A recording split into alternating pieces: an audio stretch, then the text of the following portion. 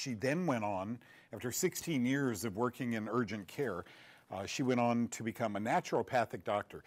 Guys, there is a trend in America today toward us visiting naturopathic doctors.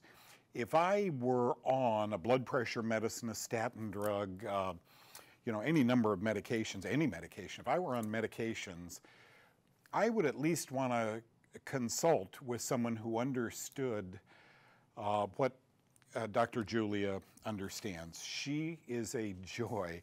John, do you have that picture of her with uh, Berkeley? So uh, my wife and I took our grandson Berkeley to see her. Eh, no. Okay, no problem, John. I know you're busy. Uh, no problems with his health. We, we want him to go in there and see how everything was going. And I'm telling you, he is the cutest kid in the world, he and his brother.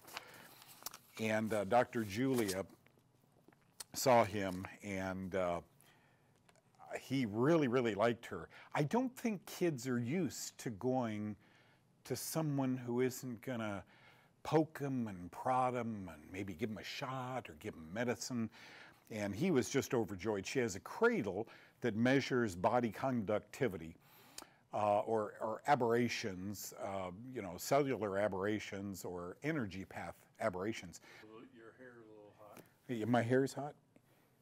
Uh, does that look better? Maybe I'll keep it behind the orange here so that looks better. Well, we have extra backlight on you, that's why. You, you guys should see, before we go on one of the sets here, we interview doctors. Um, the sound has to be coordinated. You know, your mouth has to coordinate with the words, so the audio. Okay, good. Thanks, John. John's going to put up this picture of Berkeley. All you see is the back of him. Uh, he just took his hand off this little thing, and he's kind of squirming. He's been at this for a few minutes. There's Dr. Julia, and Berkeley's squirming. In front of him on the left there, you can see the hand, uh, uh, the little hand uh, device that he sets. It does look like it's next to, yeah. Yeah, he was such a good guy. Uh, do you have the other picture, John? Is that up yet? So then she found, you know, he had some penicillin uh, allergy or something. So we go in a room and she uh, charges up this machine and we all, my wife and I and Dr. Julia and Berkeley just sat there and detoxified ourselves to this. I'd love to tell you I better understand this. All I know is I have been referring people to her for years and the results are incredible. Here's a nurse, a registered nurse, who then became a naturopath. There's Dr. Julia in one of her rooms. And that device is making a little noise, and hopefully it's, and, and I'm not the right guy to explain it. Um, but Berkeley slept. I will tell you this Berkeley has a problem going to sleep. You're lucky. I lay down, say my prayers, read a little book to him. One more book, Coco, one more book. And uh, you know, by 10 o'clock at night, we're still laying there, and I said, "No, no, it's time to go to sleep now. You have to go to sleep." And he pops up at 5:30. Coco, is it daytime yet? Can I get up? Um, he slept after that visit 11 straight hours, and uh, so it must have had some positive effect on him. I love Dr. Julia. Um, antidepressant Zoloft and generic version in short supply, the FDA has said. Folks, let me just tell you something from the number of drugs we find ourselves enclosed in our tiny environments uh, taking to the cortisol levels we must be all experiencing. Nobody's quantifying it, but cortisol is uh, it's a, hormone uh, made by the adrenal glands in response to stress, the fight or flight, right? Somebody, and you see this going all over the streets. I you know, for four or five nights, I didn't see the word COVID, and wow. But this horrible stuff going on has to end. I'm, I'm not a politician. I'm not going to go any further with that. Um, what I want to do today, my whole intent today is to teach you. So, Mona, when you ask, look, I got a biopsy and I'm really nervous, Doug, I'm biting my nails. Hear me out on this. I'm going to open with this. I just did a one hour dissertation that all these doctors I guess it's sometime in July. And I'll try and give you guys invitations to this so you can see all the doctors that present, and me. I was, usually I'm the only non-doctor that presents at these, and I'm quite proud of that actually. I want you to know that COVID-19 is not behaving like a virus at all. So, what could it be? I shared this uh, months ago with you. I thought it was quite odd how these virologists uh, could have transferred DNA or RNA. So, let me explain that to you. Uh, might COVID be a hybrid disease? I brought my notes from the one hour lecture I gave. Don't worry, I won't keep you that long. Genetic fusion is what I want to talk to you about. Genetic fusion enables two independent organisms to merge their DNA or RNA and form a brand new hybrid nucleic acid.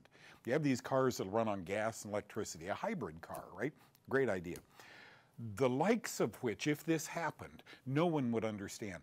But I'm a DNA guy, I'm a eukaryotic guy. That word means uh, bacteria are prokaryotic cells. They don't have a rigid membrane, they don't have a nucleus with DNA in it. Eukaryotic cells are fungal cells, oh, by the by, cancer cells, and I don't think it's coincidental, human cells. So fungal, human, and, uh, uh, and cancer cells are eukaryotes or eukaryotic organisms. So I knew about DNA, and I'll tell you how I knew about it. It's just been a fabulous history, my history. I'm going to try and keep this simple for two reasons. Number one, um, I'm simple. I've had to take these polysyllable words and make them monosyllable words so I could understand. I've studied science for 50 years. I'm one of those guys, you see these guys that come out with eight years of college and they're doctors. 42 years longer than that, I've been studying, and I thoroughly enjoy uh, what I do. DNA deoxyribonucleic acid. RNA is ribonucleic acid. I didn't know RNA, like from viruses, um, could merge, could genetically fuse. Okay? Uh, self-replicating material, this is DNA, you guys know this, which is present in nearly all living organisms, the main constituent of our chromosomes. It is the carrier of all genetic material. It's called DNA. I want to teach you now something called free RNA. This was totally new to me, cell-free RNA. Portion uh, refers to the non-encapsulated DNA that floats through our bloodstream. How did it get there? What popped the cell, right, with the nucleus in it, with the DNA strands in there? So this is the portion, it's called free DNA, and this is important, that floats through our bloodstream. I used to think genetic fusion was so rare, but I, the, and see if in 10 minutes you don't believe I'm right. So a portion of that free, that cell-free DNA originates in a tumor clone, and there are nucleic acid fragments that enter the bloodstream during apoptosis, uh, which is cancer cell death, or necrosis, um, uh, breakdown of tissue. Uh, so DNA, we find, uh, in our cells, but sometimes freely floating through our bodies. COVID induced DNA damage. This guy, I really like his stuff. Ben Liu, L I U, writes in Medical Hypothesis a couple of weeks ago this free DNA. Remember what that is? Cell free DNA floating through our bloodstream. Is it the reason for COVID 19 infection? He asks. The etiology of, the cause of severe COVID 19 has been largely unknown. This guy is hitting it dead on. He's a very bright guy. Similar as SARS CoV and MERS COVID and SARS CoV 2 is also uh, thought derived from bat coronaviruses, so is this. However, this is not pathogenic for a bat at all. Okay? This free DNA isn't pathogenic to bats at all because free DNA in their cytoplasm or blood cannot bring up a violent immune response in a bat, but it can produce severe inflammation in humans. Um, this is fascinating. This to me is really, when I read his analysis, I thought this is really fascinating. Now, I know DNA to DNA fusion. How?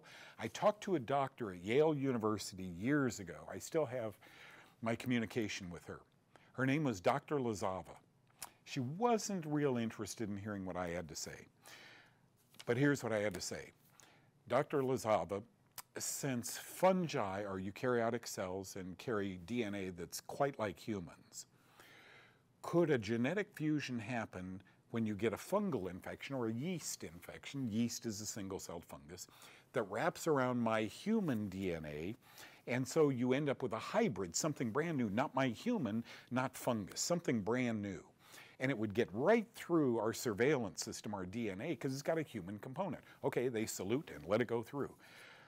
And she said, I don't know, you bring up something interesting. Let me tell you why I asked her.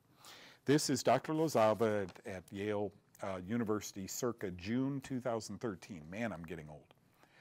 She wrote this Cancer, genetic fusion induced cancer metastasis. A gene fusion induces cancer metastasis.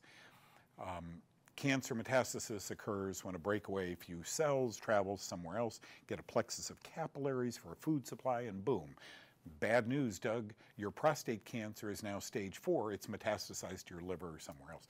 Here, I want to quote her, Dr. Lazova and these other researchers. Our results provide the first proof in humans. By the way, this is all going toward COVID. I know I'm talking cancer right now, but I believe, I know, that some cancers are genetic fusions of DNA and DNA. I didn't know DNA and RNA could converge, but I digress. Our results provide the first proof in humans that cancer metastasis can occur when a white blood cell and a cancer cell fuse and form a genetic hybrid. Wow, seven years ago now. I fell out of my chair because you see, folks, a white blood cell contains DNA, right? And a cancer cell? What if a cancer cell is a fungal cell? This is what I've been teaching for 50 years. I published on this. So let me change that. Our results provide for the first uh, proof in humans that metastasis can occur when a white blood cell and a fungal cell fuse and form a genetic hybrid. She says cancer cells. What is a cancer? We don't know. We don't know what a cancer cell. We'll never know. It's too difficult, you know. What if it's a fungal cell, which I think it is often, and there's some pretty good science that says it is then there you go. DNA, DNA, a hybrid right through your immune system. The question has always been why my surveillance system, my immune system, lets a tumor cell or even fungus get through sight unseen. Okay? Uh, this is the first time, well, you'll see. RNA induced gene fusion can occur in mammalian cells. We are mammals, reveals a study. This is out of Baylor College of Medicine, uh, 2019. The researchers also showed that RNA induced gene fusion can occur in non cancerous normal cells. Hmm, those are COVID patients. They don't have cancer. Our results, our research also showed that this RNA induced genetic fusion, so bingo, in my brain, not only does DNA fuse and, uh, and uh, go on, I believe, to cause cancer, but now we have RNA fusing. Okay, but does RNA and DNA fuse? This is fascinating. This research shows that RNA-induced gene fusion can occur in human cells, mammalian cells, in non-cancerous normal cells. You know, Doug, we're seeing asymptomatic people be able to pass this. I'll talk about that in a minute. Genetic fusion isn't new. As Dr. Luke Curtis, who assisted me, I wrote a, a paper. I was uh, one of three authors Dr. Lynn Jennings, Dr. Luke Curtis, and good old Doug Kaufmann. In 2014, we got it published uh, thanks to Dr. Richard Ablin. We got it published in Oncology News, a really good oncology journal. Here's one of the sentences we wrote Genetic fusion is nothing new. Many viruses and uh, some of you asking me great questions the other day. Doug, can Epstein Barr? I mean, are you talking about genetic fusion? Hear this.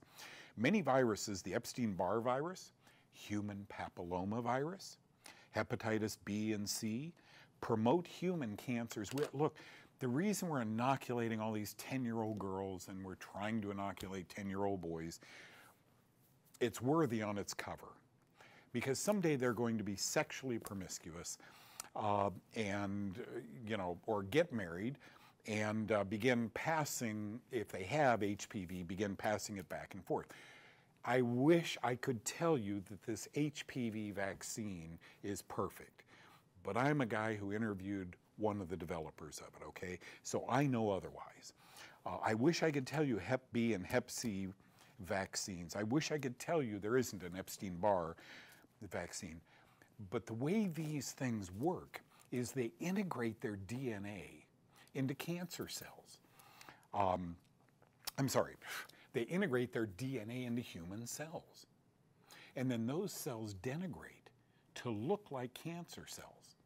But these are viruses in human cells. Uh, the COVID 19 virus is what we call a double strand RNA a disease. A virus can be, uh, a virus is a parasite in that it depends on a host, be it a fungal cell, and I'm going to cover that, uh, or a human cell. It depends on a host to give it life and to allow it. Viruses and fungi don't have wings, they don't have legs, they rely on us for Uber. Okay? They got to move around by getting on board our cells and transporting themselves. I don't know if I told you this the other day, but I read the most fascinating thing in a science magazine. You know a snail, right? When you were kids, you played with snails. Those little tentacles they have on their head, you'd touch them and, you know, it would go down. So there is a fungus that grows on certain trees. This is, I think, Dr. Doug Gill, Dr. Douglas Gill, University of Maryland or something, scientist, who noted that certain uh, snails or slugs, as they climbed up this tree, their snouts, only their snouts became bright red.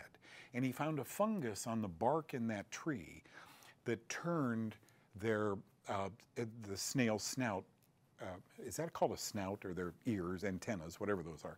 I'm sure there's a technical name for it. It turned them bright red. Well, this guy is saying, why in the world is that happening? And then he observed, like a good scientist does. He sits back in his yard and he observes. He's seeing these snails start with gray and end up halfway up the tree, which probably takes a week, um, and become bright red. And he observes these birds swoop down and eat the snail. Folks, this is called the ultimate free Uber. It's a taxi ride.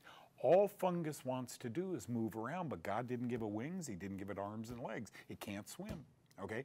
So it's got to rely on turning the, the tentacles of these snails bright red so a bird can see it. Down he comes, eats it, the bird flies off from you know, San Diego to Los Angeles, and there the guy sits down. The fungus is now in Los Angeles, free ride. But I digress. Viruses integrate their DNA into human cells. And these human cells, doctors contend, degrade to become cancer. I don't think so, but they do. And that's what's important. By the way, I'm not a doctor, they are. Okay. All cancers are thought to be caused by gene mutations, says Medical News Today, March 2007. At least 33 fungal mycotoxins, there's over a thousand of them, these are poisons made by fungi. At least 33 fungal mycotoxins are known to cause genetic fusions. I mean, this is, okay, we're, we're getting there now. Now I'm going to introduce you to a brand new word. It's called mycoviruses. You guys can't believe this. I teased it Thursday, or Tuesday, now I want to go over with you. First discovered in 1962. Why is that relevant? In 1962, the word mycotoxin pops up, really for the first time. You see, in England, Kennedy was in the White House. This is John Kennedy in the White House, a year before he was assassinated. In England, it was probably around Thanksgiving time, there were tens of thousands of turkeys, poults and big turkeys. And they were dying at such a rapid pace, doctors couldn't figure it out. As they died, they do what we do they sent in pathologists to uh, look at the tissues, you know, do an autopsy. And the pathologist would share notes and share notes and share notes. Well, this one died with a, uh, with a huge lump on the side of its neck. This one had blood occlusion. The, the major arteries broke down and blood couldn't get through. Well, this one, start, the, a bunch of them started hitting their heads against the wall and died. Folks, in 1962, and, and it always is like this. It's always like this. Probably one of the guys who gives them their food figured it out. The pathologist never did. Hey, could it be something in the water? No, we checked the water. Could it be the food? No, we just got a bunch of new, it's called peanut meal, uh, in from South America, uh, Brazil, somewhere. some country. And we fed that to all the poults the last two weeks, all the chickens, or all the turkeys last two weeks, and they died. We are so hung up on looking at a dead body, taking it apart, and saying, oh, okay, you know, that's cause of death. Uh, rarely do we see mycotoxins. They're invisible. A doctor can't say, yeah, old Doug was hitting his head on the wall and his gait was poor and he had Parkinson's type symptoms. He died of a chronic mycotoxicosis. No, no, he died of a guy's name, Parkinson. What did Dr. Parkinson learn in medical school about mycotoxins? Goose egg, nothing. And I, I just find that fascinating. Well, no, Linda died of cancer. You know, my sister died of heart disease. What caused the cancer? Well, we don't know. Boy, I hope we go beyond that. So these mycoviruses, at the same time, mycotoxins were found. By the way, aflatoxin was the mycotoxin made from aspergillus mold that grew on the peanut meal. Oh, thanks, John. Uh, that grew on the peanut meal. Um, so first discovered in 1962 something called mycoviruses. These infect fungi. If an RNA and a DNA get together, you know. Like viruses that infect animals and plants, mycoviruses require living cells of other organisms to replicate. Fungi provide those living cells. Mycoviruses have been detected in all of the major phyla, intercellular parasites, symbionts I call them, as obligate intercellular parasites. Mycoviruses reprogram the host cell metabolism in order to replicate within the host cell and avoid antiviral responses. Isn't that precisely what's happening with COVID? They're so mixed up, I don't even want to go into it. This is not a good time to be a doctor. Great people, nurses, great people, but confusion abounds. Every one of them took a couple year course in uh, virology, bacteriology, not mycology, of course, but, but certainly studying viruses uh, and bacteria. Microbiology, it's called tiny biology.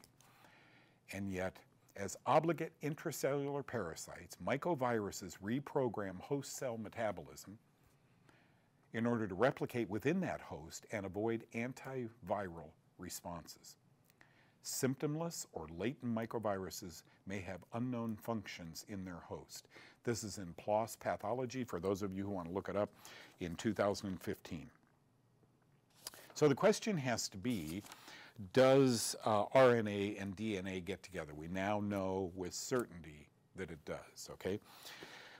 Okay, just quickly, let me go through this. Shared similarities of COVID-19 and histoplasmosis. Bottom line it. Folks, when you disrupt soil, when you sweep, eh, they talk about these monks who had all these problems, these Catholic monks, you know, Spain, early uh, Catholic monks. Um, they had those big ceilings, you know, those arched clay ceilings, and pigeons and birds would sit up there and the poop would fall, and, and whoever probably didn't do the dishes had to go down and take a broom and sweep it up. And they suffered horrible respiratory diseases. Histoplasmosis is a disease by, caused by a fungus called Histoplasma capsulatum. Histoplasma capsulatum can attach to our respiratory system. It's bad. Um, many people carry it around without anything happening, and then as we age, we start wheezing and coughing and so forth. So, the similarities between COVID and histo. When here's what really happened in 2011 a Wuhan uh, virology lab got almost $4 million from us in the US to study coronavirus. Now, you guys, I have friends that are so into this. I don't want to go into it. I don't want to think this horrible stuff happens. I don't want to think this was created to hurt us or put us inside or demean us. Has all the earmarks of that. Like I said three months ago, it has all the earmarks of that. But I don't want to think I've been in a box for three months uh, because some evil people are developing vaccines just for this, and then more evil people will mandate those under the guise of saying, well, don't you care about your neighbor? Don't you care about your fellow man? And, I don't want to think that all this rioting and looting and craziness is to hush us and scare us. I don't want to think that. Okay? Shared similarities between COVID and histo. Those Chinese virologists walked into bat caves, really, in 2011. Folks, you can booty up, uh, booty, B O T I E. You can put booties on your, you can wear extra pants, extra sweater, hats, triple gloves, and you're leaving that bat cave with bat guano, uh, uh, histoplasma on yourself.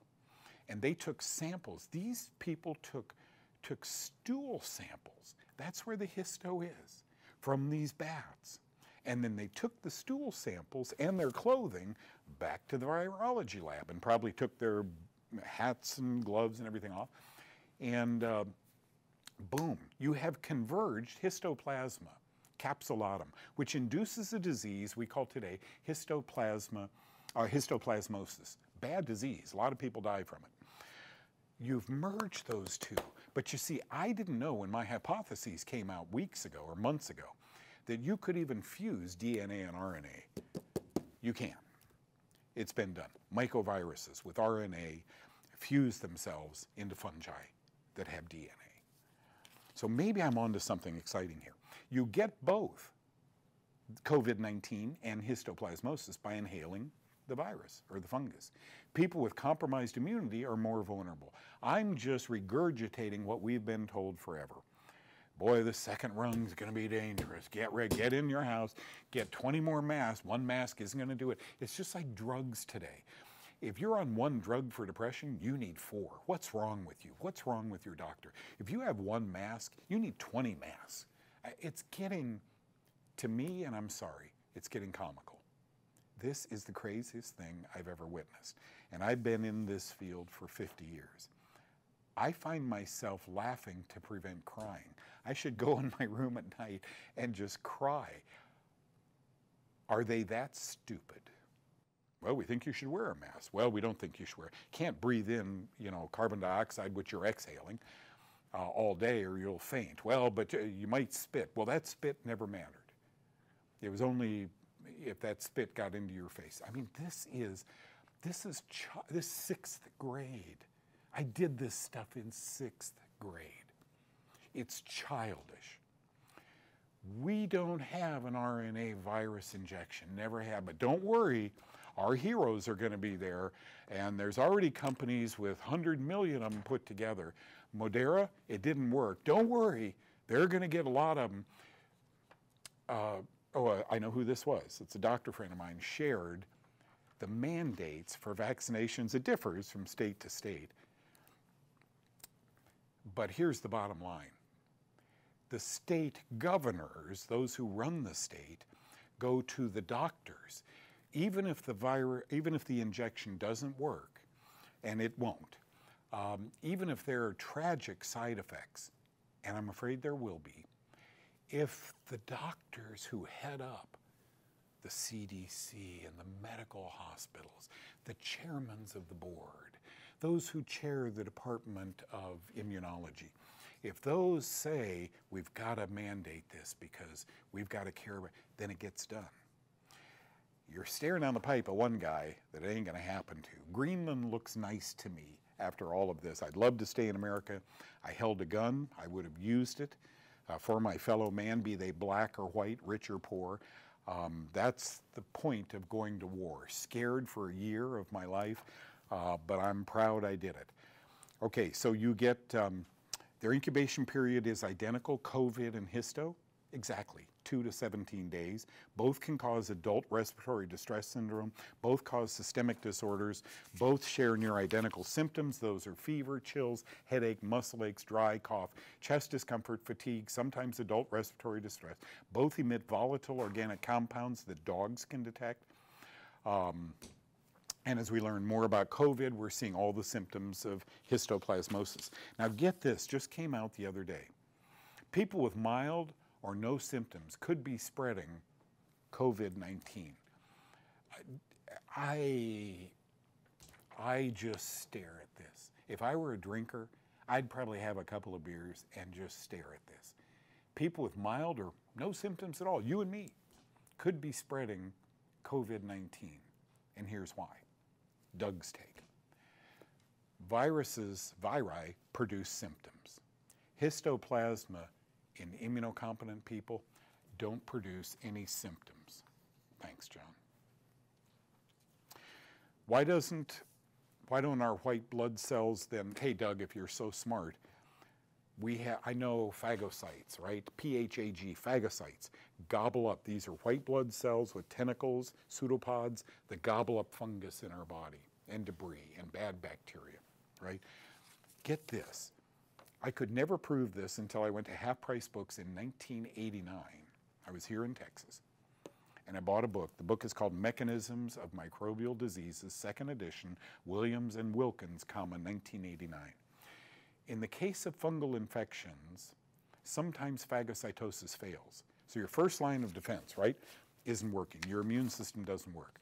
In tissue, yeast cells of, and are you ready? Histoplasma capsulatum are found within macrophages, immune cells only.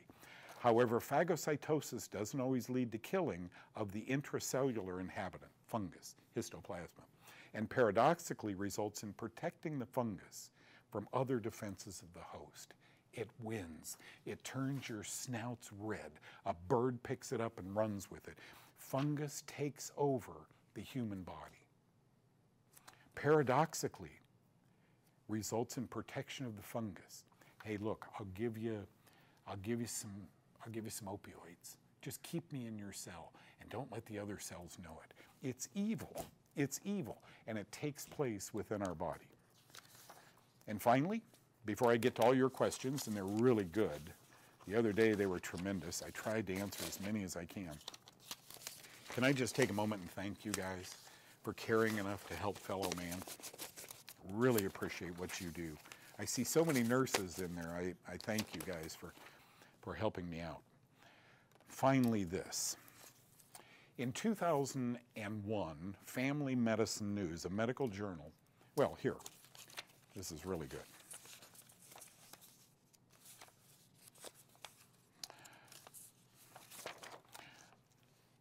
Folks, with COVID, we end up being polysymptomatic. Oh my gosh, we got chills. Now slight fever, 100, but don't get on an airplane with that. Um, oh, my knees hurt so bad. Oh, I'm cramping. So you're polysymptomatic. Family Practice News uh, issue 18, pages 258 to 265, Family Practice, comma 2001, said this Effectiveness of nystatin, all it does is kill fungus. Effectiveness of nystatin in polysymptomatic patients. A randomized double blind trial with nystatin versus a placebo in general practice. Here's their quote Nystatin is superior to a placebo in reducing localized and systemic symptoms in individuals with presumed fungal hypersensitivity as selected by a seven item questionnaire.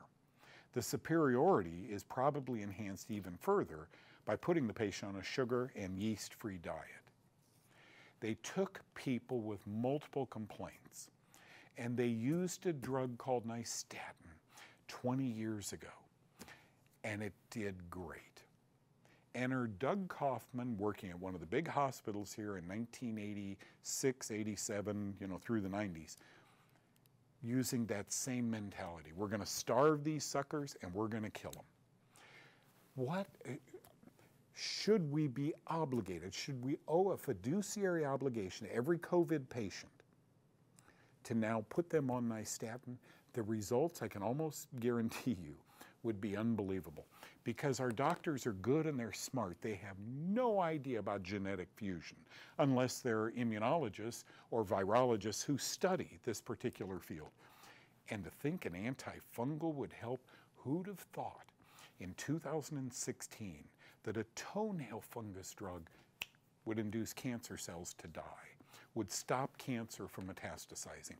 Even your doctor doesn't know that today but it's been documented and proven. Thank you for sitting, boy, that was a little longer than I wanted, but thank you for sitting through that class. Now, tomorrow I want you to read the book, The Germ That Causes Cancer. Um, thank you for the great comments I got on that. Um, there was one, read your book, Stu and Zanley. Read your book, The Germ That Causes Cancer and had the biggest and best influence on my life. You opened my eyes to the fungus that was killing me. With a history of ovarian cancer in 2003, By the by, this came in Tuesday. She's alive 17 years later. To the, uh, to the, the number of autoimmune diseases that racked my body, to the years of chemo. I am rebuilding my immune system. My rheumatologist, now, are you sitting down? My rheumatologist recommended beta glucan. Love him. I started NSC 100 months ago. He upped it to two a day. When and how is the best time to take these? Uh, both at the same time of the day or stagger them. I stagger mine. I'll take beta glucan in the morning. Um, I told you during, now it's warm out, it's hot. Um, and so the flu viruses have kind of flown away. So I'm back to 100, NSC 100, which is 10 milligram, uh, once a day. And I'll take it either in the morning or before I go to bed in the evening. I think it works equally well with or without, um, with or without food. So do you understand where I'm coming from this, folks? You're not going to hear this anywhere else, I guarantee you. The day someone, and it's coming, the paper's going to come because it has to. I hope you can help me find it one day, haven't we found that vitamin D3 helps these patients? Haven't we found that intravenous antifungal, oh, I mean vitamin C, helps these people? Haven't we found that zinc, which annihilates fungus, helps these people? Don't let them find that nystatin, which is both fungicidal and fungistatin. There are no virucidal drugs. There are virucidin products they're using at airport, bathrooms, and so forth. Those are for surfaces. Uh, virustatins are what these drugs, Overax, and all these drugs are putting these patients on. To stop a virus, they don't kill the virus, they stop a virus. Nystatin both kills at a higher dose and stops fungal growth. If somebody, some wise, brilliant doctor out there watching this right now, let me caution you, doc, you're going to get in trouble. I mean, when hydroxychloroquine gets in trouble, you're going to get in trouble using nystatin. You'll be ostracized. You can only use $1,000 drugs to help these poor patients get better. But I digress. Now, on to your questions. Thank you so much for them. Let me get a hit of this good old herb tea. I enjoy being with you guys. I try and prep so you get new in information. I had this happen, Robert. This blew my mind. And I'll tell you about it. Robert says, My wife has had a chronic cough since she was a child. She has been everywhere to no avail. Keeps us up at night. Could this be caused by a fungus? Yeah, and it more than likely is. Uh, Robert, I don't know where you live, but there is a, a doctor I help work with here who's a pulmonologist. He's been on my show several times. He's been on my show. I asked him not to paint my wagon, just go on and tell what you're finding. He attended, I was the keynote speaker years ago at a doctor symposium. That was Saturday night while they were eating dinner under a big, uh, beautiful chandelier. I gave my talk. He came up Sunday morning and sat next to me and said, You blew my socks off. And he said, I am robotically putting patients on antibiotics. Hey, I got it, and your wife has been on hundreds of them. They think that miraculously a new antibiotic is going to clear up her cough. Let me tell you how this works. Fungi gain access to your body, I think most of the time through inhalation or eating them, right? Right here. Fungus has access to your body right here. Uh, fungus hangs on to the mucous membrane tissue. So the nasal, pharyngeal, throat, lungs, very viscous, very sticky. When your wife was little, she probably went into a basement, into an old abandoned building, and it was moldy, and she left, and the building has since been torn down, but she's carrying around those pathogenic fungi into her lungs.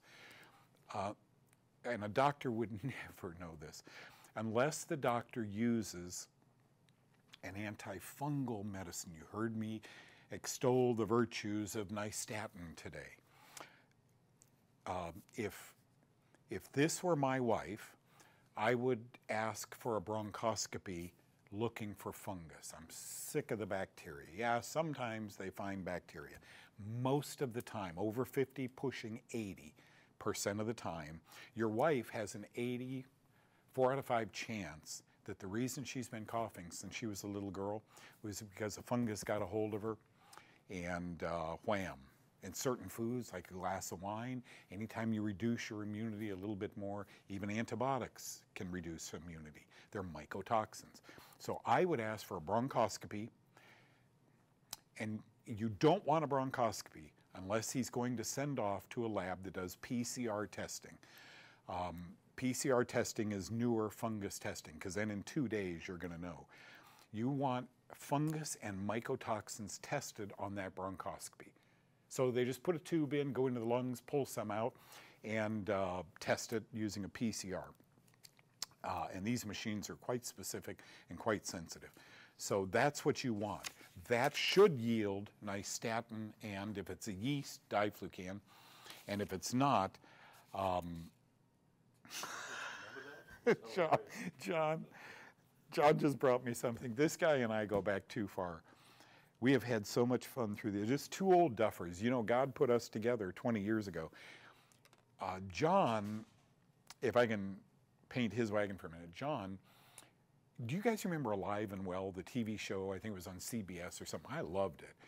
They had uh, all the popular nutrition people back then. Uh, well, John was the producer of that. And so he kind of slowed his life down. They relocated him to all pumped up and so forth. Well, here I am, the only non physician. There's got to be 200 doctors, their wives, so 400 people in this ballroom out at a beautiful hotel out here in Plano, Texas. And I've got to loosen them up, right? And I'm, you talk about boring. The conference was called Mycotoxicology. It reeks of yawning, right? But they had great doctors there. Um, so I'm the keynote speaker. How do you follow up with that? These people want to eat. One of the doctor's wives, John just handed me this. One of the doctor's wives got up and went over uh, to the, you know, they had the chocolate rolling off the ice, and it was just all elegant. She walks over and I said, uh, "Okay, stop." Let me finish this next paragraph and then go over and see if you want. And everybody just rolled. I talked about mycotoxins, sugar feeding fungus, and so forth, and they rolled. So that was the way I got them going uh, in the middle of my. That was fun. That was really fun. When you can get them laughing, you own them. You own them. I mean, it was really, really good. Uh, Robert, bronchoscopy. Uh, to diagnose fungal and mycotoxin induced respiratory illness. I think you have a four out of five chance of finding certain fungi in there and either Sporanox, Lamisil, or maybe Griseofulvin, but if they're yeast, by the way, this histoplasma capsulatum that they got on their shoes in the bat caves is a yeast. And the yeast and the virus, I believe, got together. More later on that. So, bronchoscopy, followed by antifungal medication, I think, and a diet, a proper diet.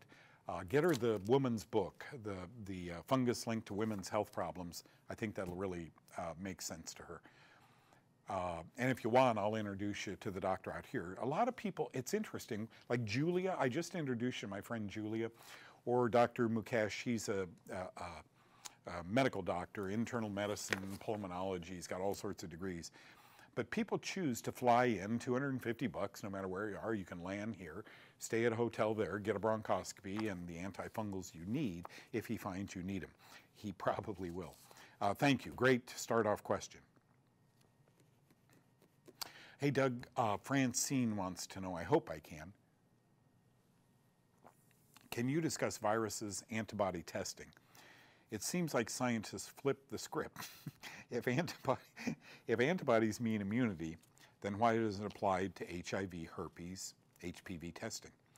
Aren't vaccines supposed to create antibodies to disease? Thank you, thank you, thank you, man. Can I tell you, John and I will talk about this 20 minutes before we go home tonight? And same with Damon, the crew. You guys blow us away. This question needs to be on a science blog. You're a very smart audience. You're a thinking audience. Viruses and antibody testing. The two antibodies, I've seen the viral research. The two antibodies, we humans make five protective immunoglobulins. They're also called antibodies. We make them via a B cell. It's a type of lymphocyte. We have T cell and B cell lymphocytes. B cells make antibodies, mirror images of that COVID coming in, right? And therefore render it harmless in our bloodstream and apply to immunorecognition next time and immunomemory. Okay, that's really cool. I I can't believe that we started as a seashell in the Indian Ocean. As I study human physiology and immunology, it blows me away, you guys, blows me away. I can't believe how complex it is. Of the five antibodies, the important ones for us to remember when coming to COVID testing or, or uh, Epstein-Barr, you know, any virus, um, are G and M. Now, this test, they run up your nose, back to the back of your throat. That's a positive negative. Ooh, you got COVID. You know, come in here. You're running fever, da da da. So that's that's what they tried to convince America. I loved as the news media was trying to get two cars in a row. You know, they opened up everywhere. Schools are closed. Let's go to schools. Not many people got that testing done. I wouldn't have. Um, and now they're talking about a blood test, right? In our blood are these white blood cells that make these antibodies. Your question is a good one. You discuss uh, viruses and antibody testing. The blood test will test, here's what a doctor wants to know if he does. If he wants to know if you're currently suffering from COVID 19, if I were a physician, I would probably do the nasal scrape, the throat sca- uh, scrape via the nose and I would probably take a tube of blood. So I had two factors. Uh, I don't think that blood testing is expensive, but since it's popular now, it's medicine after all, it's probably very expensive. Um, I would test you for IgM. IgM is the brand new antibody. For a few weeks before that grows up and becomes IgG antibody, it's IgM. So if I want to know if you've got an active infection, not a passive one, not one that's gone, which IgG will measure. But an active infection, I will do nasal testing and I'll do a little tube of blood for IgM testing. If that sucker comes back positive, both of them, I know you're suffering from COVID. So what do I do? You know, that, that's next. If this comes back IgG positive to COVID or any other thing, that's not helpful to me at all. That means in fourth grade, somebody with a virus, SARS, coughed on you, and your body did, your immune system did what it was supposed to do. It made antibodies. IgM for the first few weeks, graduating to IgG antibodies. Okay? Um, really, really good question. And you bring up another good one. If antibodies mean immunity, uh, folks, a, a, COVID patient's blood becomes very valuable. I've heard of people selling their blood for a thousand bucks. Uh, I wish I had hours with you. Um, so the story goes if you take a tube of your blood, let's say you have leukemia, as the story goes, right here, man, this is just great. If you guys want to read more about this, this guy died a few years ago. He was the most awesome man you've ever. Let's see, John, can they see that? I'm sure this book is all of two or three dollars. Uh, this is my signed copy, Politics of Healing by Dan Haley. It's a thick book. In this book, he writes, man, look at all my old notes. Oh, fabulous book. Right now, it'd be a really good book. The Suppression and Manipulation of American Medicine. He was a state assemblyman in New York. And uh, he had Burke Burkett. Burke Burkett was a friend of his. Here it is, Berkley Bedell, I'm sorry, former member of U.S. Congress, founder and president for the National Foundation of Alternative Medicine. Gone, I'll bet. At any rate, what Burke did, I think he had a serious disease. His doctor said, Give me some of your blood. He took the blood to a farmer who had a pregnant cow. He injected his blood into the teat of the cow, and that eventually became visceral in the cow. You guys know what colostrum is. When a mom feeds a baby, the first uh, few hours, that thick, dark uh, viscous material comes out. Immunity, 100% immunity. So, what uh, this farmer would do, the cow delivers, then he'd milk the cow and give the very thick stuff to Burke. And Burke would drink it. And he overcame his disease by doing that. Folks, that is called passive immunity. Vaccines are called active immunity. I wish they were. I'd love to tell you, and again, I'm not for or against. I love the idea, all of you need to hear this. I love the idea of giving me an antigen of COVID 19, kind of like the idea of putting it under my tongue in sterile water. Just the antigen and sterile water. Because this, we were told in Vietnam, if we could not inject adrenaline into the heart of a soldier that was going down, get his mouth open, inject it under his tongue. This is a very, as you guys know, vascular area under, under the tongue. Okay, so sublingually, I'd hold it. And if it was permeable, I don't have to worry about all the adjuvants, the additives. Gosh, what are there, 20 now that they put in a vaccine? Can I just tell you, I don't think they're bad people. I think ignorance abounds in science. There, I said it. I may be one of them too. Um, but you bring up such good questions. I just need to answer them. If antibodies mean immunity, then why isn't that applied to HIV, herpes, HPV testing? It's supposed to be. Theoretically, I would give a 10 year old girl the human papillomas virus shots. Now, it's not all the human papillomas viruses, it's some of them. Well, which ones? Well, you got this one and this one. Go ahead and give it to them. Um, then I should draw her blood or his blood if they give it to boys, and I should see uh, anti antibodies in that person's blood, IgG or M, right? And if you just gave the shot three days ago, I should see IgM. We just talked about that. Two years from now, in that girl's blood, I should see IgG antibodies to human papillomavirus. That isn't done because I don't think they're so confused right now. They're finding that maybe we're not making antibodies after we've had this COVID. Okay? Aren't vaccines supposed to create antibodies to the specific disease to make one immune from that disease? Antibodies on other tests mean that a person is infected. Okay, just, okay, Francis and everyone. what you've asked is this Does the presence of an IgM antibody to COVID mean I'm protected or I've had it for a couple of weeks? I don't know. There's a huge amount. I hired three UCLA immunologists in my laboratory circa 1977. And you know what I did, you guys? They became my friends, my employees. I paid them well. When I had Evan, Ruth and I had Evan, uh, you know, we had books. This was one of my original books. Oh my gosh, I saw it the other day. Maybe it was in my office. Nope, here.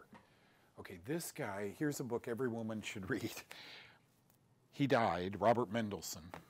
Confessions of a Medical Heretic. This was the most amazing 25 years as a practicing pediatrician, uh, practicing physician. Uh, annual physical examinations are a health risk. Hospitalizations are dangerous places for sick people. Most operations do little good and do many harm. Medical testing laboratories are scandalously inaccurate. Many drugs cause more problems than they cure. X rays are the most pervasive and most dangerous tools in a doctor's office. Uh, this book's probably a buck. Everybody. He also wrote, this is Medical Heretic, he wrote, um, he wrote How to Have a Healthy Child in spite of his pediatrician. He really did. And this was a big guy. He, he's a bigwig in medicine. God rest his soul. And he wrote how doctors manipulate women. Unreal. If you can get these books, it's a good jump off if you're brand new at all this. Does the presence of an antibody specific to an antigen, a foreign substance capable of eliciting an immune response, imply immunity? Thank you, Francis. If it does, nobody would have ragweed allergy because we all inhale it, and yet 4% of Americans start sneezing and sneezing and sneezing and getting sick. You guys are asking the right questions. God bless you. This is the best audience in the world. I love doing this. Uh, is it uh, Shuba? Is there a good immunology book that you could recommend to get a better understanding on how the immune system works? Now, some of you bought this. I think many of you probably bought it. But I want to show you something that'll be cheap if you can find it. Doot, doot, doot, doot, Um, boy, I held it up here. You guys remember? I bet you guys have it somewhere. Oh, there's the woman's book. Mm, I wish I could see that. It was a magazine. Ah, here it is. I hit it. here you go, John. National Geographic Magazine. Shuba, get this one. I'll tell you what it is. See, it's got a big old lion on, or a tiger on, whatever that is. Ooh, it looks like a, what is that? That's a pretty animal. Leopard, a snow leopard. Okay, this is volume 169, number 6, June 1986. National Geographic. Our immune system, the wars within. This is a simple, look at, this is a simple to read, that's the white blood cell gobbling up the bacteria. I love this. If you can get this, you can get it for a buck or two online. But it is June 1968 National Geographic best thing I've ever read on the immune system, short of The Woman's Guide to Fungal Diseases. Um,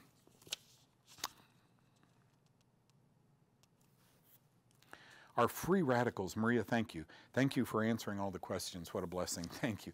Our free radicals, reason uh, for this virus, are free radicals. Um, unpaired electrons. Um, my take is this I'm a sitting duck. I'm a wooden duck, you know, for a hunter to go up, easy prey, because I'm 70 years old. Fortunately, I don't have any comorbidities, I don't have any other illnesses, knock on wood. But we old people, as we age, our immunity waxes and wanes. We begin to slide. Look, we're all, I'm so upset with Eve about eating that apple, or Adam, I guess, for eating that apple. Um, as we get older, we become more vulnerable to viruses, bacteria, fungal conditions, and so forth. Uh, and I don't think it's free radicals so much. Free radicals part of the chain of deterioration. But I think it's vulnerability as we age, or people who eat horribly, fast foods all the time, no exercise. Think about this, guys. You, I'm going to say this again. Everyone watching this right now, has within your front pocket a key that opens your health. We turn it over to, I'm going to go in for my annual physical. Doctors will find something wrong with you. Okay? My last physical, someone asked me on, uh, what was I doing? Oh, oh, it was a get together with friends. Uh, someone said, So you don't go to the doctor? No, I don't. You know, I go to the dentist, don't go to the doctor. And uh, he said, uh, When was your last physical? So my exit physical from the Navy was 1972. It's the last time. I have no plans on going back. In my front pocket, I have opened the box, and in the box there is not an off on switch. I can't turn cancer off. But I believe there's a rheostat. I believe you can turn it way down. Better I believe that you can prevent the onset of these diseases by living a lifestyle conducive to excellent immune system health. Okay? So that's what I try and teach. Thank you so much. Great questions. Uh, oh, that, this is Greg Kramer. I love this. Love your early morning show. Outstanding information on dental implants. That was given by my friend. Uh, his website is My Holistic Dentist myholisticdentist.com. This man's name is Kerry O'Reilly. He's a dentist in San Diego. And uh, I gave a lecture, I think it was Ty Bollinger's lecture a couple of years ago. on uh, the fungal link to cancer. And there were so many people that surrounded me, maybe 500, some of you might have been there, that they asked me to leave so the next speaker could go on. And we went outside, and people were just grabbing at me. I mean, I felt like a rock star. And so many of them get it, you guys, when I tell them, when did your cancer begin? Well, it started in uh, mm, breast cancer. It started in uh, 2004. What happened in 2004? Nothing. Everybody's first thing they nothing. Oh yeah, that's right. We moved. Okay. You have to ask them. Did you get dental work done? Yeah, but you know it's just a root canal. You guys dig, dig, dig. Something initiates the disease process. Something takes the glasses off your T cells. Something breaks immunity. Aging is part of it. But so often we don't know. A bee sting could do this. When did my symptoms begin? What was I doing? Um, Doug, all I had was a handful of peanuts, and you know I passed out. Those peanuts were probably impregnated, and most are, with something called aflatoxin. It causes human cancer, and it can mess with your nervous system. When did your problems begin? And stress can do this. A divorce, you know, when did your problems begin? Let's go back, work backwards, and try and fix it. So this is Dr. Carrie O'Reilly. Love your morning show. Outstanding information on dental implants. Wasn't that good? myholisticdentist.com. And if you want to go on there and talk to him, just say, hey, get our annual.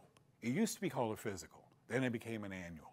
Maybe it ought to be a biannual. Maybe it ought to be a weekly. That's where they're moving with all this to get you on medications. Um, what if we do make cancer cells from time to time? What if you've scheduled a physical for July 17th, already scheduled, and on the night of July 16th, uh, you start make cancer cells. And the doctor says, well, everything looks good. Let's take a tube of blood and make sure. Linda, I have horrible news for you. You have leukemia. We've got to get you in for. See my point? Um, I, I don't think women should have pelvic exams done when they're drinking alcohol the night before or on antibiotics. I don't think men should have digital rectal exams when they're on antibiotics or they're drinking alcohol. Why? Both of these are mycotoxins fully capable of looking like cancer cells or creating worse. Six of these mycotoxins are probable or definite carcinogens. And a doctor doesn't know that hammering down a beer or two can't grow a lump on your prostate.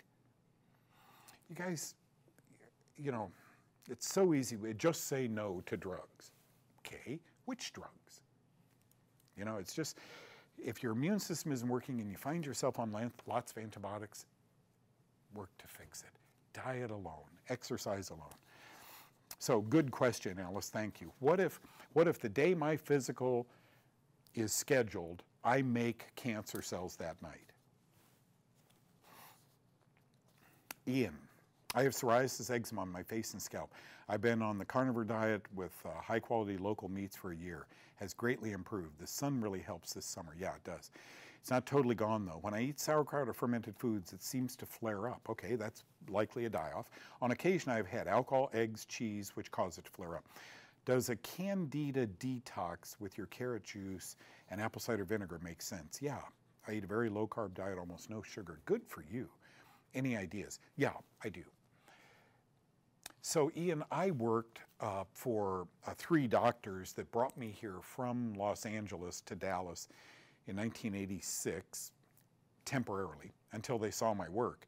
And then they made me an offer in 1987 to permanently pick my family up, two little kids at that time, and relocate here permanently, or for five years under contract. It was a skin clinic, so we saw psoriasis all the time. And I asked the doctors, and man, I had to sell this. I had to be good. I had to prove myself first. I wasn't a doctor, they are. And, uh, and then I had to beg this. Can I have every psoriasis or eczema patient you have? And can I put them on the Kaufmann diet, Kaufmann 1, just for a few weeks? And I promise, diflucan nystatin or sporanoxin nystatin, just for a couple of weeks. Well, are you saying these are fungal? I'm saying we need to rule out fungus. And now, don't you know the Center for Disease Control says think fungus? And I was 50 years early. So I do have a thought. This is so characteristic when you're eating the good bacteria, the antifungal stuff, um, it tends to flare up. You, to kill fungus perfectly is to kill the human cells perfectly, so you can't do that. Um, what you want to do is put this thing to rest so that when you eat sauerkraut or yogurt, you won't end up with that uh, good bacteria inducing a die off.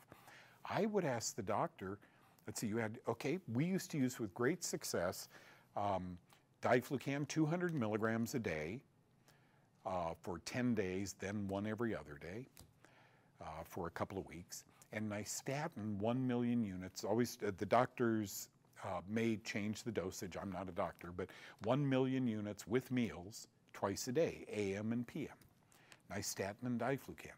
And I think within a couple of months, Ian, you're going to find, whew, finally put it to bed. Brilliant of you um, to go on this diet, carnivore diet and so forth. Clean meats, mm-mm. love those clean meats. Okay. Thank you, thank you, thank you. Okay, got that, got that. How does one treat if diagnosed with cancer but feels it's fungus? Mary Jo asked this. Doctors are pushing for removal and other cancer treatments. Uh, uh, out of no, maybe I don't know, out of know where I was diagnosed. Esophageal cancer. Okay, I'm, I'm sorry, Mary Jo, diagnosed with esophageal cancer. I think the best way to do this is to contact a laboratory that does uh, PCR, polymerase chain reaction, PCR testing in advance and ask the pathologist, ask the doctor in charge, I'm going to send some biopsy tissue to you. I'd like to have it uh, reviewed for fungi and mycotoxins. You probably, I'm sure, esophageal cancer, you've already had the biopsy. A biopsy must be maintained in paraffin until they know you die. So it's at the hospital where the, you know, every probably 50 years they throw a bunch of these away. Um, but you can, you have access. That's your tissue. You can call the hospital and get it sent to a pathology laboratory where they do PCR, polymerase chain reaction testing for fungus and myco, MYCO, mycotoxins. That's the first thing I do. So if your heart, women are so good at this. If your gut and your heart, Mary Jo, are telling you, you know, I've listened to Doug and I have been exposed to a lot of fungus and it was down here and, you know, you swallow food and uh, maybe, maybe it is. Um, real-time labs, real-time labs is in Richardson, Texas. And those pathologists, by the way, John, that was the doctor, those were the doctors that invited me to that symposium under the chandelier. Remember that? Real time labs put on that symposium. Uh, that was Dr. Uh, Dennis Hooper. He was in the Navy, same time I was, Dr. Dennis Hooper. Good guy. I hope that helps. God bless you. Look, if this is a fungus, I love the idea, like Ian was just saying, of juicing with apple cider vinegar and, and, and falcarinol, which is in carrot juice. I love the idea of greens, uh, spinach, and Italian parsley in that. I love the idea of taking charge of your health and asking your doctor to get these things tested. By the by, what's with these doctors who say no? That's my tissue. I paid for it in that lab. I want to get some of it transferred to another lab where a pathologist, just like you, Doc, will look at it under different eyes. Good for you. I wish you well. Um, yeah, this is my husband. Uh, my friend's husband was diagnosed. I just got this last night. I called someone. Hmm.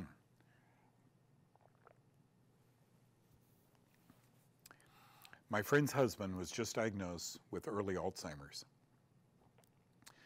Uh, they eat very clean, uh, but are there other supplements that you can recommend? So this big symposium's going around, and the guy, the guy who hosted it, Uh, Dr. Josh called me the other day and he said it's a hit. It's a huge hit. Alzheimer's, it's on my website. I was one of the speakers at it. And in this, Joan, uh, in this, I'm sorry, Joyce, Joan's next. In this uh, symposium, I just cut to the chase. How do we give Alzheimer's to study bunnies, to study rats? How do we break their memory like that? We inject them with a mushroom mycotoxin. It's called ibotenic acid. Ibotenic acid is a mycotoxin. And within a year, they start losing their mind. You don't suppose that 70 years of drinking mycotoxins, because my cardiologist says good for my heart, um, and eating bread and cereals contaminated sometimes, I don't think rarely, with mycotoxins, eating bread, eating pasta, um, you know, taking antibiotics, these are all mycotoxin exposures, that it finally reaches a fulcrum, you know, over which my brain doesn't seem to work anymore. Okay? I think I would run a one month test.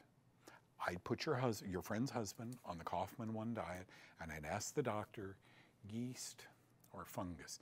I'd ask the doctor for diflucan. Maybe he'll give 150 milligrams a day for two weeks. On day 15, how's he doing? Better? You don't cure Alzheimer's or cancer or lupus or arthritis or depression in 10 days. But you have what the doctor may never get. You have hope.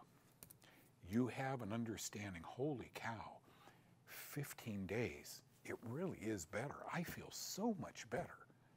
And the doctor doesn't get to see that. He doesn't go home with you. A doctor never thinks fungus, rarely thinks diet. You've got to do your own thing to get yourself better. You've heard me say this, and I'm going to say it again. Kids, sometimes we're on our own. We really are. You've got to prove it to yourself first. So 15 days or 14 days on diflucan and a restrictive diet. Oh, lots of goodies. Man, I had my cheesecake the other night. It is delicious.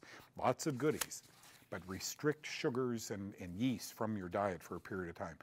Then, Joyce, you're going to know. Okay? Uh, supplements, yeah, the supplement would be diflucan and nystatin.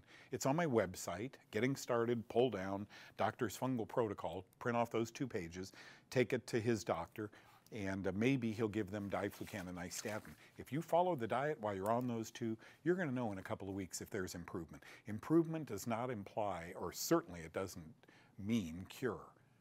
But what about six more months on that? Okay? Uh, so Joan said, I, my daughter had gallbladder removal two years ago after her second child, full of stones. Yeah. Do you know if she can take to help her digestion? She's now 14 weeks pregnant. Congratulations, number three child. Man, they're precious. Man, they're precious. Very few things in life. My wife uh, and those grandkids, man, I just, oh, Coco, Coco, come with me. Let me show you this. Can I get on your back? It's so much fun. To be able at 70 years old to let him on my back is just a miracle. Um, okay, Joan, do me a favor. Unikey, U N I K E Y. That's my friend, Dr. Uh, um, come on, John. Thank you. do you guys notice my brain begins leaving? We taped a doctor today and then I studied and studied and I wrote two blogs. My brain starts fizzling out. Um, Dr. Ann Louise Gittleman uh, knows more about the gallbladder than anybody I've ever known. Unikey.com, U N I K E Y. Uh, tell her Doug sent you, and you have this question. Uh, oh, she, have you heard of the, the lemon juice and, and virgin cold pressed olive oil drink? Go online, gallbladder flush uh, lemon oil, olive oil. Go online and read about that. It sure helped my sister and other people.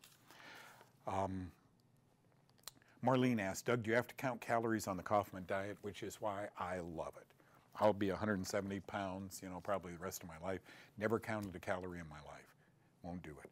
Eat the right foods. The wrong foods induce inflammation. Grains, right? Inflammation. Greens, not. Beth, I always love hearing from Beth, another big brain person. I'm betting massive amounts of Cheerios Oh, Cheetos. Oh, Cheetos, yeah. How long is too long on diflucan and nystatin? You guys will know. Your symptoms will begin coming back. This is what I watched in the uh, all the doctor's patients I worked with. Look, I'm into drugs, antifungal drugs, for up to a month. If I have cancer, if I'm losing my vision, if I get crackling migraines, if I'm so depressed I'm suicidal, if my bowels don't work, I'm up. I'm doing it for a month and the Kaufmann diet. Then I'm going off. Why? Because we have darn good nutraceuticals that I think can take over after we wash it out of our system. I, Karen, Karen says, I can't spell anything you talk about. Gosh, I'm sorry. I never wanted it to be like that. You want to hear the funny thing? I can't either. I can't. I can say it. I can't spell it. I'll try and slow it down. I'm betting massive amounts of Cheetos and bad eating grains cause my cancers. I also lived very high, high stress jobs, as well as had jars of peanut for quick eating never having time for lunch. Wow. Talk about feeding myself fungus. Thanks to Doug's books, programs, and now Facebook Live, things have greatly improved. Seven years clean of cancer now. Gosh, if I were a crier, stuff like this, you don't know what it does to me. Every day of my life, I get testimonials like this. Thank you. Um, Beth, you're my bud. Uh, okay, so here's Mary Jo again who do I ask? Who do I ask? My PCP, primary care physician, I guess. I have PET scans, CAT scans tomorrow. I'm meeting with surgeon oncologist. Issue is I'm only eating liquid diet now, as I have acid reflux. Yeah. I wish. Okay, I wish I could be Mary Jo for one year. And Mary Jo, I wish you could wake up every morning like I do and feel great and pop out of bed and get ready for work and love my job and study and all of the testimonials I get. In one year, you'd never go back to Mary Jo. But I would like to take Mary Jo, and I wish there were a way to do this and, and make her whole again. Make her feel in three months, four months, Beth did it, make her feel in three or four months like a million bucks. And I don't think doctors know how to do that. I just don't think. Yeah, you can ask your primary care physician. Um, I have CAT scan, PET scans tomorrow. Ask the doctor if you can send the biopsy out for mycology testing. You know, doc, I suspect if you're anything like me, I had a drinking problem in my early 20s. After I got back from Vietnam, um, I lived in moldy apartments. Uh, I was on tons of antibiotics, as was just the way to do it back in the 60s. So you can make that argument. So look, I've been exposed to a lot of mold and their mycotoxins. I'd like half, I'd like my sample to be split and sent to a laboratory that can test me for mold and mycotoxins. You'll get the typical, oh, well, you don't, you know, this is cancer. Your scans have come back, it's cancer. I could tell you stories that would blow you guys away.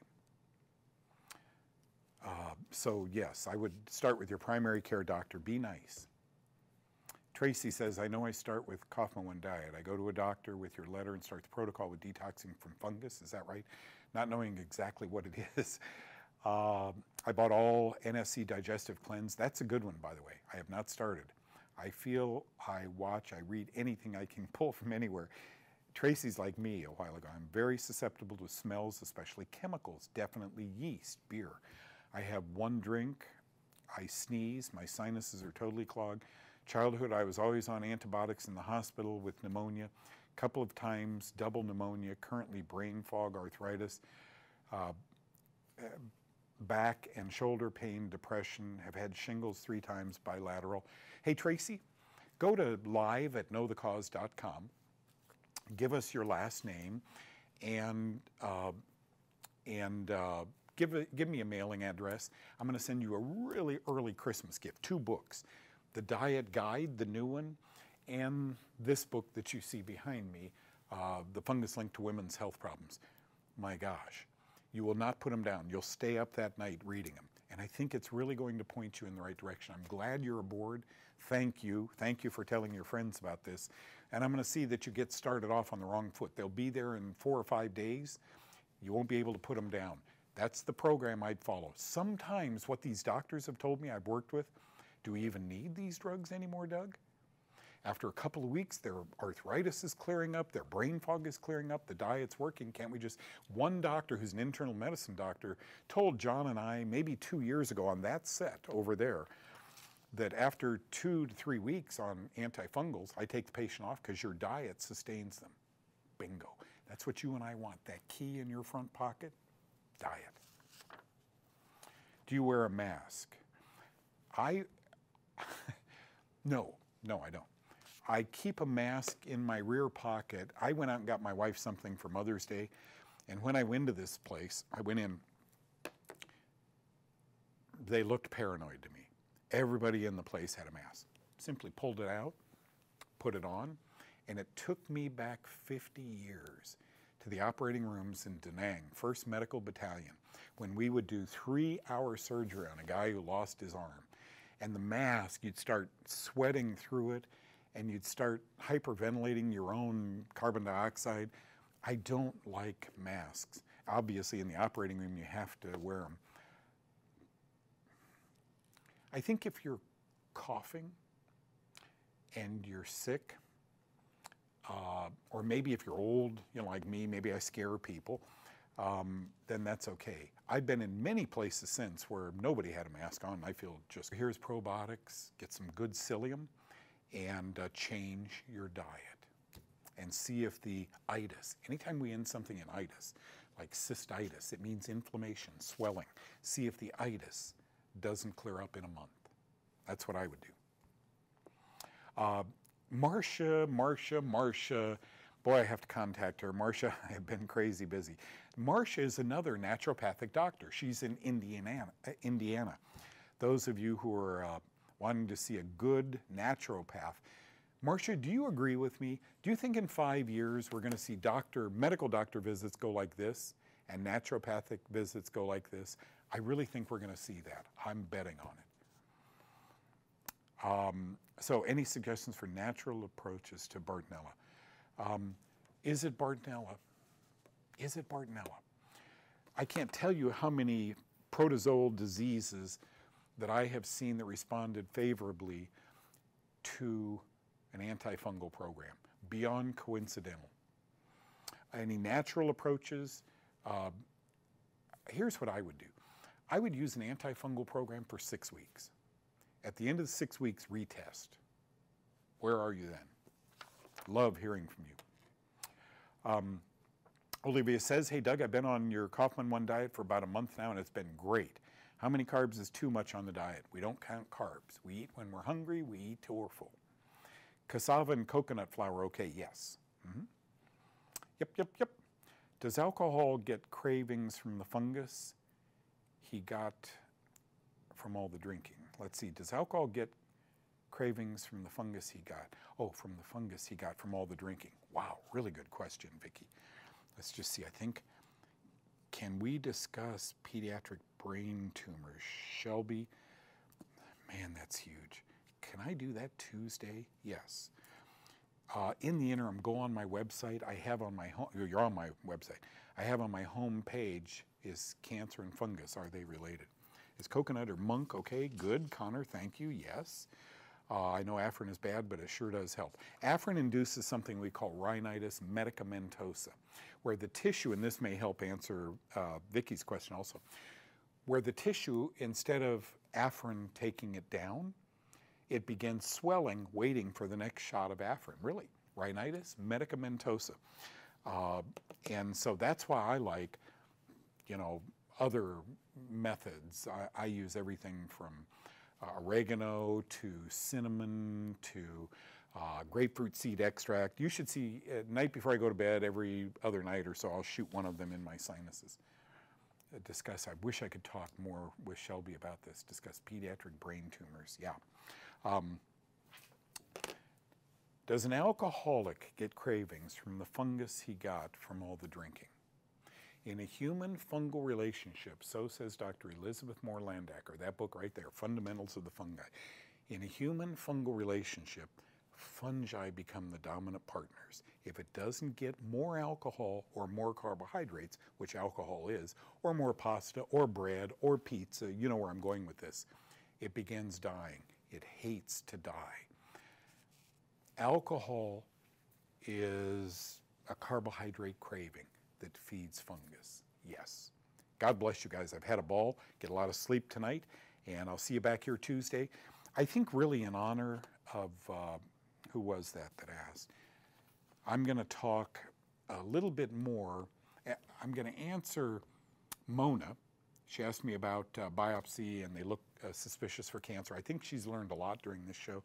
And the person who just asked me, and I probably threw it on the floor, I'm sorry, about pediatric brain tumors. We need to talk. Maybe I'll open with a little update on COVID. Man, it's so amazing. It's so amazing.